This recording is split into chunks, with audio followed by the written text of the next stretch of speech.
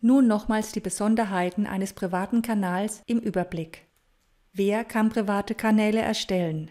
Nur der Teambesitzer und Mitglieder, wenn dies der Teambesitzer in den Einstellungen erlaubt hat.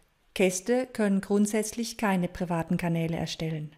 Bei Gästen handelt es sich um Personen außerhalb der Organisation. Wer kann Mitglieder zu einem privaten Kanal hinzufügen?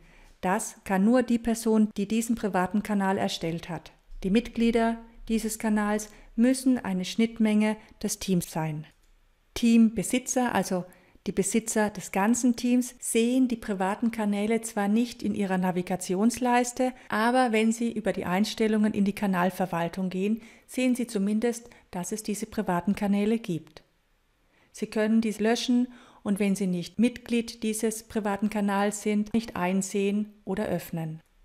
Mitglieder des Teams, die nicht diesem privaten Kanal angehören, sehen nicht einmal, dass es diesen Kanal gibt. Personen, die allerdings in diesen privaten Kanal integriert wurden, sehen diesen mit einem Schlosszeichen dahinter.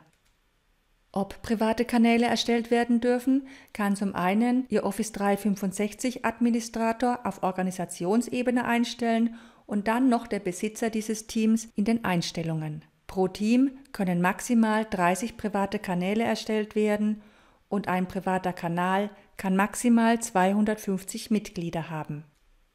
Die Dateien, die Sie in einem privaten Kanal teilen, werden auf einer separaten Website gespeichert. Alle Dateien aus allen Standardkanälen liegen auf einer gemeinsamen Website. Und dann gibt es noch einige Einschränkungen bei den Apps.